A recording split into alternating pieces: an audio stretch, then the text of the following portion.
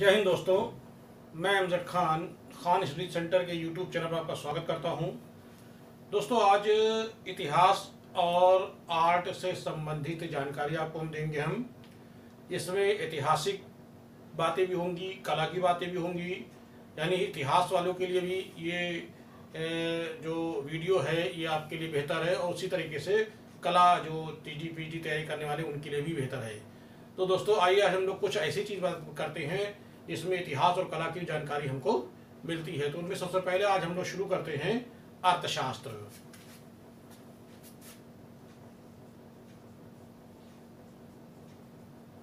अर्थशास्त्र। तो अर्थशास्त्र की रचना सभी लोग जानते हैं कि अर्थशास्त्र की रचना अगर विकल्प आता कुछ इस तरह से, कुछ इस तरह से विकल्प आता है कि अर्थशास्त्र की रचना किसने की है? और विकल्प दिया जाता है कि कौटिल्य कौटिल्य, फिर नंबर दो देते हैं चाणक्य चाणक्य, नंबर तीन देते हैं विष्णुगुप्त विष्णुगुप्त, और नंबर चार देते हैं कुटल। ये चार ए बी सी डी या एक दो तीन चार करके इस तरह से अगर क्वेश्चन आता है कि अर्थशास्त्र की रचना किसने की है? तो आप जब देखोगे तो देखते ही कहोगे यार यह तो क्वेश्चन गलत है। क्योंकि चाणक्य ही नाम, विष्णुगुप्त का भी नाम है, कौटिल भी नाम मिलता है और कुटल भी नाम इन्हीं का है। तो ऐसी स्थिति में क्वेश्चन क्या दिया गया? उस पर ध्यान देना है। क्वेश्चन ही पूछा गया है कि, अर्थशास्त्र की रचना किसने की है? तो अर्थशास्त्र की रचना मुख्य रूप से जो की थी, वो विष्णुगुप्त ने की थी। विष्णुगुप्त इनका वास्तविक नाम था। कौटिल का वास्तविक नाम विष्णुगुप्त था। और इन्होंने इसी नाम से अर्थशास्त्र की रचना की थी। कौटिल मत लगाइएगा, न चाणक लगाइएगा। अगर विकल्प में विष्णुगुप्त नहीं है या एक ही नाम कोई दिया है तो हम लगा सकते हैं कि इसका सही आंसर कौटिल भी हो सकता है चाणक भी हो सकता है। ठीक है? तो वास्तव में अर्थशास्त्र के जो रचनाकार थे, जिनका विष्णुगुप्त नाम था, उनका नाम हेमचंद्र के अभिधान चिंतामणि में। किसमें? हेमचंद्र के अभिधान चिंतामणि में। अभिधान चिंता मणि में। हेमचंद के अभिधान चिंतामणि में इनके देखिए कितने नाम मिलते हैं। तो मैंने चार नाम आपको बता दिए। एक, दो, तीन, चार। ये चारों नाम इनके ही हैं। तो एक नाम है कौटिल, दूसरा चाणक विष्णुगुप्त, कुटल। इसके बाद पांचवा नाम द्रामिल। द्रामिल। छठा नाम पच्छिल स्वामी पच्छिल स्वामी। सातवां नाम सातवां नाम अंगुल। आठवां नाम मल्लीनाथ। और नवा नाम इनका मिलता है वात्स्यायन। ये किसमें मिलता है किस पुस्तक में, हेमचंद की अभिधान चिंतामणि में इनके कितने नाम मिलते हैं तो कहेंगे नौ नाम मिलते हैं। कौन कौन से? कौटिल, चाणक्य, विष्णुगुप्त, कुटल, द्रामिल पच्छिल स्वामी अंगुल, मल्लीनाथ, वास्यायन। एक बार पीसीएस में क्वेश्चन पूछा गया था, उसमें शायद ये विकल्प था कि ये किसका नाम है तो वो नाम था चाणक्य, यानी विष्णुगुप्त कौटिल का नाम ये मिलता है। अब हो सकता है कि आने वाले समय में पूछ सकते हैं कि द्रामिल क्या, किसका नाम है पश्चिम स्वामी किसका नाम है, या पूछ सकते हैं कि किस पुस्तक में इसका उल्लेख मिलता है। तो इस तरह से अर्थशास्त्र की रचना करने वाले आप लोग ध्यान रखिएगा, नौ नाम मिलते हैं, ठीक है ना? तो अर्थशास्त्र के रचनाकार, अभी हमने आपको बताया कि अर्थशास्त्र के रचनाकार जो है, उनका नाम क्या है? उनका नाम जो है, हमने आपको बताया कि विष्णुगुप्त, ठीक है? और विष्णुगुप्त ने अर्थशास्त्र की रचना रचना विष्णु गुप्त ने की थी और विष्णु गुप्त ने जो अर्थशास्त्र की जो रचना की है, ये मौर्य काल में की थी इन्होंने। मौर्य काल से पहले कह सकते हैं, ठीक है? लेकिन पूर्णतया जो तैयार हुई है, वो मौर्य काल में ही तैयार हुई थी। इन्होंने मौर्य काल से, यानी मौर्य साम्राज्य स्थापित होने से पहले लिखना शुरू कर दिया था और मौर्य काल में लगभग ये पूरी हो गई थी। तो अर्थशास्त्र भारत का, ध्यान रखिएगा, भारत का पहला राजनीतिक राजनीतिक ग्रंथ माना जाता है। भारत का पहला राजनीतिक ग्रंथ माना जाता है जो जो नीति शास्त्र पर जो नीति शास्त्र पर पर आधारित है। जो नीति शास्त्र पर आधारित है। ठीक है? तो ध्यान रखिएगा, ये भारत का पहला राजनीतिक ग्रंथ माना जाता है, जो नीति शास्त्र पर आधारित है। बहुत इंपॉर्टेंट ये ग्रंथ है।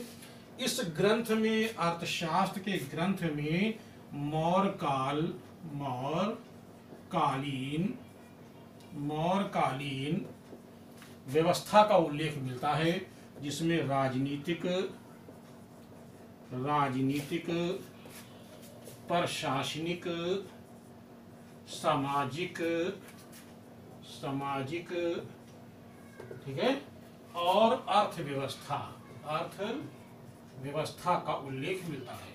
तो मौर्यकालीन मौर्यकालीन राजनीतिक व्यवस्था, प्रशासनिक व्यवस्था, सामाजिक व्यवस्था और अर्थशास्त्र व्यवस्था का उल्लेख मिलता है, जिसमें इसकी रचना जो करने वाले थे, वो विष्णुगुप्त ने पूरी व्यवस्था का उल्लेख किया है।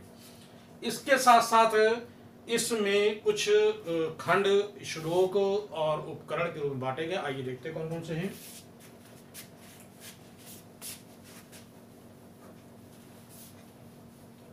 कौन कौन से हैं? इसमें जो बांटे गए हैं अर्थशास्त्र में जो इसमें जो कौटिल यानी विष्णुगुप्त ने जो इसमें इसका विभाजन किया, यानी श्लोक के बारे में बताया है कि इसमें जो श्लोक हैं, वो लगभग छः हज़ार श्लोक हैं। छः हज़ार श्लोक बताया अर्थशास्त्र में। इसके बाद इसका अधिकरण अधिकरण अधिकरण का मतलब होता है खंड। कितने इसमें खंड हैं? इसमें पंद्रह खंड हैं। और उपकरण उपकरण उपकरण का मतलब होता है इसके उपखंड उपखंड, यानी खंडों के खंड, यानी खंडों के खंड, यानी उपखंड। उपखंड की संख्या जो है इसमें 180 बताई गई है। तो अर्थशास्त्र की जो उसका जो अर्थ है, अर्थशास्त्र का जो अर्थ है, इसका अर्थ होता है इसका जो अर्थ होता है धन का अध्ययन, धन का अध्ययन। अर्थशास्त्र का जो अर्थ है, वो धन का अध्ययन, इसका अर्थ ये होता है, इसमें छह हज़ार श्लोक का उल्लेख किया गया है, अधिकरण खंड यानी पंद्रह खंडों का उल्लेख है, और उपकरण की बात करते हैं, उपखंड यानी 180 उपखंड इसमें मिलते हैं। तो इसमें पूरी, इसी खंडों में, इसी श्लोक में पूरी मौर्यकालीन व्यवस्था का उल्लेख दिया गया है। तो अर्थशास्त्र की जो विषय वस्तु है, इसकी विषय वस्तु विषय वस्तु, इसकी यूनानी दार्शनिक यूनानी दार्शनिक दार्शनिक अरस्तु अरस्तु, यूनानी दार्शनिक अरस्तु अरस्तु की पॉलिटिक्स, पॉली अरस्तु की पॉलिटिक्स ग्रंथ और मैक्यावली और और मैक्यावली मैक्यावली का ग्रंथ प्रिंस प्रिंस ग्रंथ से मिलती जुलती है। यानी कहने का मतलब मेरा यह है कि अर्थशास्त्र की जो विषय वस्तु जैसी है, वैसे ही विषय वस्तु हमें यूनानी दार्शनिक अरस्तु की पॉलिटिक्स ग्रंथ में और मैक्यावली के प्रिंस ग्रंथ से इसकी मिलती जुलती है। अब बात करते हैं कि वर्तमान का अर्थशास्त्र के जन्मदाता कौन है? अगर क्वेश्चन आता है कि वर्तमान के वर्तमान अर्थशास्त्र के, यानी वर्तमान में वर्तमान में अर्थशास्त्र यानी वर्तमान अर्थशास्त्र, यानी वर्तमान अर्थशास्त्र के जन्मदाता कौन है? तो अब वर्तमान में अगर आता है कि वर्तमान में इसके कौन है तो सीधा सीधा कंफ्यूज हो जाएँगे कि यार क्या लगा में हम? ये कॉटेल है कि क्या है? अगर वर्तमान क्यों लगा दिया? तो वर्तमान के जो है तो कहेंगे एडम स्मिथ। इसके जो हैं, वो एडम स्मिथ। एडम स्मिथ इसके जन्मदाता हैं। तो ध्यान रखिएगा दोस्तों, एडम स्मिथ इसके जन्मदाता हैं। तो आइए हम बात करते हैं थोड़ा सी कला के बारे में। कौटिल ने कला का उल्लेख किया है। कौटिल ने अर्थशास्त्र में कला का उल्लेख किया है। क्या उल्लेख किया है? आइए मैं बताता हूँ आपको। कौटिल ने पहली बात ध्यान रखिएगा कि कौटिल यानी विष्णुगुप्त ने, कौटिल ने कला का उल्लेख किया है। ठीक है? इन्होंने जो कला का उल्लेख किया है कौटिल ने इन्होंने बताया, कला के दो भाग बताया है। एक इन्होंने बताया है, ललित कला ललित कला, और दूसरा इन्होंने बताया है, उद्योग कला। उद्योग कला। आपने पीछे पढ़ा होगा कि मैंने आपको बताया था कि ललित कला और उपयोगी कला। मैंने पढ़ाया ना आपको? ललित कला, उपयोगी तो उपयोगी कला के अंतर्गत उद्योग कला शब्द नाम यूज़ किया है। तो ललित कला का नाम इन्होंने दिया था, चारु कला। चारु कला दिया था और उद्योग कला का नाम जिन्होंने दिया था, कारू कला। कारू कला। अब सवाल उठता है कि कि कारू और चारू शब्द सबसे पहले कौन यूज़ किया था? तो चारू और कारू शब्द सबसे पहले जिसने यूज़ किया था, उसको मैं पीछे आपको बता चुका हूँ। आपको मैं बता चुका हूँ कि पाणिनि की अष्टाध्यायी में, पाणिनि की अष्टाध्यायी जो छठी शताब्दी ईसापुर की पुस्तक है, पाणिनि की अष्टाध्यायी में सर्वप्रथम चारु और कारु शब्द का उल्लेख हुआ है, लेकिन उसके बाद अगर किसी ने यूज़ किया है, प्रयोग किया है तो वो किसने किया है? कौटिल ने, यानी विष्णुगुप्त ने किया है। चलिए आगे हम लोग देखते हैं। हम लोग अगले ग्रंथ की बात करते हैं तो राष्ट्रंगड़ी की बात करते हैं। राष्ट्रंगड़ी का अर्थ क्या है? राष्ट्रंगड़ी का जो अर्थ है, वो है आपका राजाओं की नदी। राजाओं की नदी। इसका जो भावार्थ है, भावार्थ, वो भावार्थ इसकी ये है कि राजाओं का इतिहास है। क्या है इसमें? राजाओं का इतिहास। या कह सकते हैं, समय का प्रवाह। समय का प्रवाह। ये उल्लेख हमको मिलता है, यानी हमें नहीं बताया कि राष्ट्रंगड़ी का अर्थ है राजाओं की नदी इसका भावार्थ क्या निकलता है? राजाओं का इतिहास है। या इसको कह सकते समय का प्रवाह, यानी समय जो हमारा बीत रहा है, वो राष्ट्रंगड़ी इसका अर्थ बनता है। इस तरह से राष्ट्रंगड़ी की जो रचना है, रचना इसकी बारहवीं शताब्दी में हम सीधे सीधे बताएँगे ग्यारह सौ लेकर के ग्यारह सौ लेकर के ग्यारह ईसवी। तो हम कह सकते हैं बारहवीं शताब्दी बारहवीं शताब्दी। यानी राष्ट्रंगड़ी की जो रचना है, वो बारहवीं शताब्दी में इसकी रचना की गई है। और जो रचना की गई है, उसका हम एक्चुअल समय इसका बता देते हैं। ये एक्चुअल इसका समय है ग्यारह से ग्यारह में इसकी रचना करने वाले एक व्यक्ति का नाम था कल्हड़। क्या नाम था? कल्हड़। कल्हड़ ने इसकी रचना की। कल्हड़ ने जो इसकी रचना की थी, वो ग्यारह ग्रंथों को लेकर के इसकी रचना की थी। वर्तमान में जो जो कल्हड़ की जो रचना की गई थी, वर्तमान में एक ही ग्रंथ उपलब्ध है, जिस कल्हड़ ने इसको जो यूज़ किया था। तो उनमें से जो इसका जो कल्हण द्वारा जो ग्यारह ग्रंथ थे, ग्यारह ग्रंथ थे, ग्यारह ग्रंथों में केवल एक ही ग्रंथ उपलब्ध है, एक ही ग्रंथ ग्रंथ उपलब्ध है उपलब्ध है और उस उपलब्ध, ठीक है, उपलब्ध है। उस ग्रंथ का नाम है नीलमत पुराण। उस ग्रंथ का नाम क्या है? नील मत पुराण। नीलमत पुराण। नीलमत पुराण। ये ये का, केवल यही ग्रंथ उपलब्ध है, बाकी जो है, दस ग्रंथ जो है वो विलुप्त हो चुके हैं, जिसको ले करके जो है कल्हड़ ने इसकी रचना की थी। और कल्हड़ ने जो राष्ट्रंगड़ी की जो रचना की है, इस राष्ट्रंगड़ी में इन्होंने कश्मीर कश्मीर के इतिहास का वर्णन किया है। इसमें कश्मीर की व्यवस्था, उसके इतिहास का वर्णन किया है।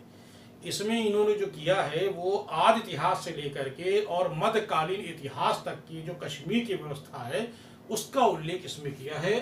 कल्हड़ ने किया है और मैंने आपको बताया कि ये कल्हड़ की राज तरंगड़ी जो है, इस कल्हड़ की राज तरंगड़ी में 6826 श्लोक हैं। कितने श्लोक हैं? कल्हड़ की जो राज तरंगड़ी है, इसमें छ सॉरी सात हज़ार आठ सौ छब्बीस, छह हज़ार नहीं। इसमें है श्लोक की जो इसमें इसमें जो श्लोक की बात करते हैं अगर हम तो श्लोक की बात करते हैं तो श्लोक की संख्या सात हज़ार आठ सौ छब्बीस श्लोक है। कल्हड़ की राज तरंगड़ी में।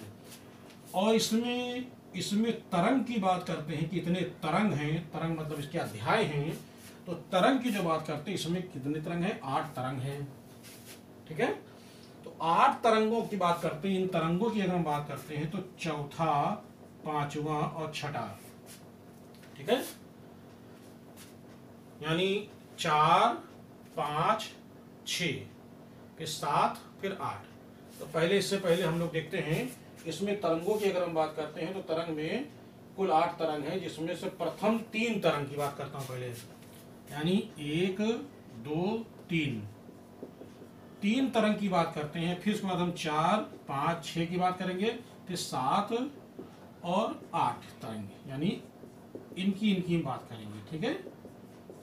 तो एक, दो, तीन। तीन तरंगों में आद इतिहास से लेकर के आध इतिहास से लेकर के, ठीक है? प्राचीन लगभग गुप्त काल तक, गुप्त काल तक, ठीक है? यानी आदि इतिहास से लेकर के लगभग गुप्त काल तक के कश्मीर का उल्लेख मिलता है, कश्मीर के इतिहास का उल्लेख। तो इसमें जो यहाँ से लेकर यहाँ तक की जो उल्लेख है, किसका उल्लेख है? कश्मीर के इतिहास का उल्लेख है। ध्यान रखिएगा, हमें इसके अंदर कोई नहीं मिलता, सिर्फ़ कश्मीर के बारे में मिलता है तो कश्मीर के इतिहास का उल्लेख मिलता है इसमें। अब हम चार, पाँच छ इन तीन तरंगों की बात करते हैं तो इनमें हमें जो उल्लेख मिलता है, किसका मिलता है? इसमें हमें जो उल्लेख मिलता है, वो मिलता है आपका एक लोहार वंश है और एक उत्पल वंश है। तो इसमें हमको मिलता है चौथे से लेकर छठे तक कारकोट वंश का उल्लेख मिलता है। किसका है? कारकोट वंश का। कारकोट वंश का उल्लेख मिलता है। और इसमें हमको लोहार वंश लोहार वंश, ठीक है? ध्यान रखिएगा। और उत्पल वंश, दो उत्पल वंश। ये हमें इन तरंगों में हमें इसका उल्लेख मिलता है। ध्यान रखिए एक बार। एक, दो, तीन तरंग में आदि इतिहास से गुप्त काल कश्मीर तक इसमें, इनमें सब में कश्मीरी का उल्लेख है और कोई नहीं उल्लेख है। कारकोट वंश जो चार, पाँच, छह में कारकोट वंश, जो कश्मीर का, इसमें भी कश्मीर का है, इसमें भी कश्मीर का उल्लेख है, इसमें भी कश्मीर का उल्लेख है, यानी इसमें हमें केवल कश्मीर का उल्लेख मिलता है। तो वास्तव में जो कश्मीर का जो इस राष्ट्रंगड़ी के अनुसार कश्मीर का जो वास्तविक नाम था, उसका नाम था कश्यप मेरू तो कश्मीर का प्राचीन नाम कश्मीर का प्राचीन नाम प्राचीन नाम इसका मिलता है कश्यप कश्यप मेरू। तो कश्मीर का जो प्राचीन नाम है, उसका नाम मिलता है कश्यप मेरू। ध्यान रखिएगा, इसका प्राचीन नाम कश्यप मेरू है, कश्मीर का प्राचीन नाम। और कश्मीर के प्राचीन नाम से हमको मिलता है कश्यप मेरू कौन थे? कश्यप मेरू जो थे, ये ब्रह्मा के पुत्र ऋषि मरीची का पुत्र था। ये किसका पुत्र था ये? ऋषि मरीची। ऋषि मरीची का ये पुत्र था। ठीक है? तो अब आगे बात करते हैं। तो इसमें जो हमें उल्लेख और क्या मिलता है? इसमें हमें एक चीज़ और देखने मिलता है कि जो कश्मीर का जो इतिहास लिखा था कल्हड़ ने वो लिखा था ग्यारह सौ सैतालीस उनचास। अब ग्यारह सौ लेकर के, उनचास से ग्यारह सौ लेकर के चौदह सौ सत्तर का इतिहास। इतिहास। ग्यारह से लेकर के चौदह का इतिहास। इसके आगे का इतिहास जो लिखा है, वो लिखा है जोनराज ने। जोनराज के बाद श्रीवर ने। श्रीवर के बाद प्राग भट्ट ने। तो सबसे पहले किसने लिखा था? स्टार्टिंग में मैंने आपको बताया, कल्हड़ ने। तो कल्हड़ ने इसकी पहले रचना की थी, बाद में इसका आगे इतिहास, यहाँ से इतिहास यहाँ तक की जोनराज श्रीवर और प्रागभट्ट तो इस प्रकार से पूरी राष्ट्रंगड़ी की रचना करने वाले जो थे, वो चार लोग थे। ध्यान रखिएगा, एक अकेले इनका नहीं लगाएँगे। अगर कल्हड़ जोनराज श्रीवर और उपरोक्त सभी तो सभी टिक मारेंगे। लेकिन अगर इनमें से विकल्प देख लें तो हो सकता है कि जोनराज ने देखे की रचना किसने की सॉरी राजतरंग की रचना किसने की अब कल्हड़ विकल्प ना हो तो उसमें जोनराज मार सकते हैं। जोनराज विकल्प ना हो तो श्रीवर मार सकते हैं। श्रीवर विकल्प ना हो तो प्रागभट्ट मार सकते हैं। तो इस तरह से ध्यान रखिएगा, क्वेश्चन पूछा जाता है। इसमें कश्मीर के इतिहास का वर्णन मिलता है। इसीलिए राजतरंगड़ी को भारत की पहली ऐतिहासिक पुस्तक माना है। भारत की पहली ऐतिहासिक पुस्तक तो ये राजतरंगड़ी क्या है? ये भारत की पहली ऐतिहासिक पुस्तक है यह पुस्तक यानी ग्रंथ है। भारत का पहला ऐतिहासिक ग्रंथ कौन सा है? तो कहेंगे राष्ट्रंगड़ी। और राजतरंगड़ी का अनुवाद अंग्रेज़ी भाषा में राजतरंगड़ी किस भाषा में है? ये संस्कृत भाषा में है। संस्कृत भाषा में है। और संस्कृत से इसका अंग्रेज़ी में अनुवाद अंग्रेज़ी में अनुवाद इसका अंग्रेज़ी में जो अनुवाद किया था, वो अनुवाद करने वाले का नाम है आर एल स्टाइन। किसने किया था? R L Stein. इसके अनुवाद करने वाले का नाम है R L Stein. R L Stein ने किसके सहयोग से पंडित गोविंद कौल, गोविंद, पंडित गोविंद कौल पंडित गोविंद कौल की सहायता से R L R L Stein ने इसका जो अनुवाद किया था, इसका जो अनुवाद किया था, वो उन्नीसवीं शताब्दी में किया था। उन्नीसवीं शताब्दी में किया था। तो इस तरह से ये बहुत महत्वपूर्ण पुस्तक है। तो दोस्तों, आगे हम लोग देखते हैं मुद्रा राक्षस। आइए, आगे हम बात करते हैं मुद्रा राक्षस की बात करते हैं। तो मुद्रा राक्षस की रचना चौथी शताब्दी में चौथी शताब्दी ईस्वी में इसकी रचना की थी किसने? चौथी शताब्दी ईस्वी में इसकी रचना, चौथी शताब्दी में इसकी रचना जो की थी, वो विशाखा दत्त ने की थी। किस, कब की थी? विशाखा दत्त ने की थी। ठीक है? और इसके जो टीकाकार थे, टीकाकार, वो थे धुंडी राज धुंडी राज धुंडी राज इसके जो टीकाकार थे, वो धुंडी राज थे। ध्यान रखिएगा। धुंडी। इसके जो टीकाकार थे, वो धुंडी राज थे। ठीक है?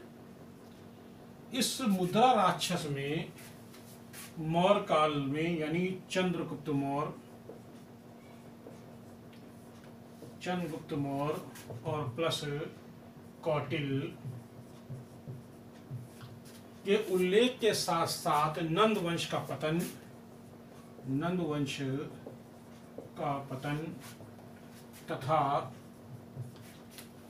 मौर्यकालीन मौर्य काल की स्थापना का उल्लेख मिलता है। इसमें मुख्य रूप से ध्यान रखिएगा नंद वंश का पतन, यानी मौर्य काल से पहले जो वंश था, वो नंद वंश का पतन था, यानी घनानंद की चंद्रगुप्त मौर्य ने चाणक्य की सहायता से, कौटिल की सहायता से नंद वंश का पतन किया और मौर्य काल की स्थापना की। इस तरह से चंद्रगुप्त मौर्य और कौटिल ने मौर्य साम्राज्य की स्थापना की, इसका उल्लेख इसी मिलता है। इसके साथ अलावा ये एक संस्कृत भाषा का ग्रंथ है ये ये एक संस्कृत भाषा का है। संस्कृत भाषा का ग्रंथ है। संस्कृत से इसका हिंदी में अनुवाद, हिंदी में अनुवाद अनुवाद 1878 में भारतेंदु हरिश्चंद्र ने की थी किसने की थी? भारतेंदु हरिश्चंद्र भारतेंदु हरिश्चंद्र ने इसका हिंदी भाषा में अठारह सौ अठहत्तर में ईस्वी में इसका हिंदी भाषा में अनुवाद किया था। तो दोस्तों, इस में कला का उल्लेख तो नहीं है, लेकिन जो पीछे मैंने रास्तरंगड़ी बताई थी, जो मिस हो गया है तो रास्तरंगड़ी की बात करता हूँ तो रास्तरंगड़ी में पीछे हो गया मिस हो गया था। तो रास्तरंगड़ी में कला का उल्लेख हुआ है, कला का उल्लेख हुआ है। मुख्य रूप से कश्मीर के कश्मीर के मंदिरों का उल्लेख मिलता है। ध्यान रखिएगा, कश्मीर के मंदिरों का उल्लेख मिलता है कि कश्मीर के मंदिर किस तरह से बनाए गए थे इसका उल्लेख मिलता है? इसके अलावा इसके अलावा जो मंदिरों में जो चित्र बनाए गए या मंदिरों में जो जो कलाकृतियाँ बनाई गई है, उन सब का उल्लेख राजतरंगड़ी ग्रंथ में उल्लेख मिलता है। लेकिन मुद्रा राक्षस में कला का स्पष्ट रूप से उल्लेख नहीं मिलता है। तो दोस्तों, मेरी, मैंने इतिहास और कला से संबंधित आपको जानकारी दी है। दोस्तों, जो नए लोग जुड़ रहे हैं, वो लोग ज़रूर सब्सक्राइब करें, क्योंकि उनको अभी बहुत चीज़ें नई नई मिलनी हैं। बहुत सारी नई नई चीज़ें मिलती रहेंगी, जो लोग इलाहाबाद यानी प्रयागराज के जो स्टूडेंट्स हैं, वो मुझसे ऑफलाइन में भी जुड़ सकते हैं। ऑनलाइन के लिए जो बाहर के लोग हैं, जो ऑनलाइन केवल पढ़ना चाहते हैं, उनके लिए मैं जल्द ही ऑनलाइन क्लास की व्यवस्था करूँगा। और तब तक हमारे वीडियो देखते रहिए, कुछ ना कुछ आपको जानकारी मिलती रहेगी। और नए जितने व्यूवर्स को ज़रूर सब्सक्राइब करें जिससे उनको नोटिफिकेशन उनको समय समय मिलता रहे और कमेंट्स भी देवें कि क्या उनको कैसा वीडियो लगा। कम से कम उसको लाइक करें, इससे हमारा हौसला और बढ़ता है जय हिंद, धन्यवाद।